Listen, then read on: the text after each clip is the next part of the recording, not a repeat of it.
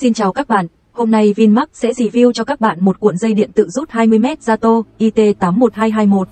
Các bạn có thể thấy, các tiêu chuẩn và hình dạng của sản phẩm đều được in lên trên đây. Cuộn dây điện tự rút 20M Có công suất là 10A, 220V, có thể tải được 2500W.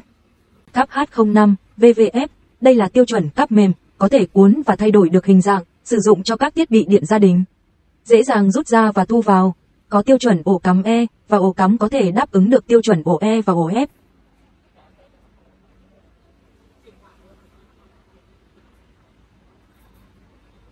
IP34 là một tiêu chuẩn về bảo vệ. Số 3 có nghĩa là có thể ngăn cản các vật cứng có đường kính 2,5mm. Không thể xâm nhập được vào bên trong sản phẩm. Số 4 là tượng trưng cho khả năng bảo vệ sản phẩm, chịu được áp lực nước của máy phun vào. Có thể tự động rút. Bên trong có bốn vít nở để hỗ trợ bắt lên tường hoặc giá treo.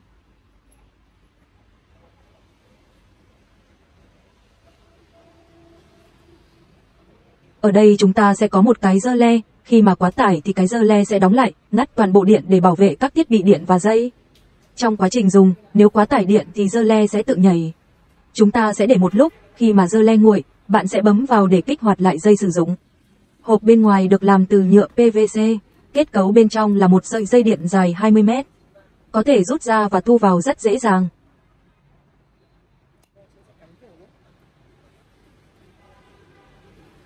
Đây là ổ cắm tiêu chuẩn ổ E và phích cắm tiêu chuẩn ổ E, hay gặp trên các thiết bị điện tử như máy tính, nồi cơm điện. Cắm tiếp điện cực kỳ hợp lý.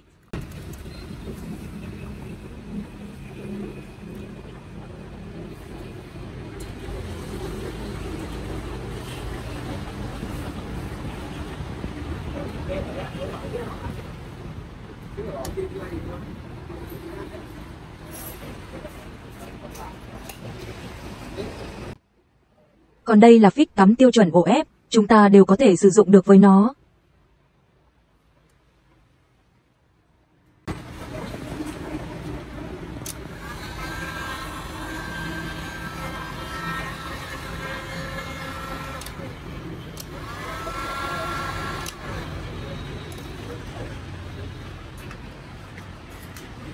Đây là phần đế pad, đi kèm có 4 vít nở, chúng ta có thể sử dụng để gắn lên tường.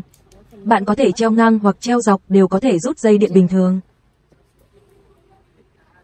Mọi thông tin chi tiết về sản phẩm, bạn có thể liên hệ theo số hotline 024 3838 3456 hoặc truy cập vào website máy móc việt.vn. Cảm ơn các bạn đã xem video. Nếu thấy hay, hãy bấm thích và nhấn đăng ký kênh để theo dõi thêm các video khác nhé.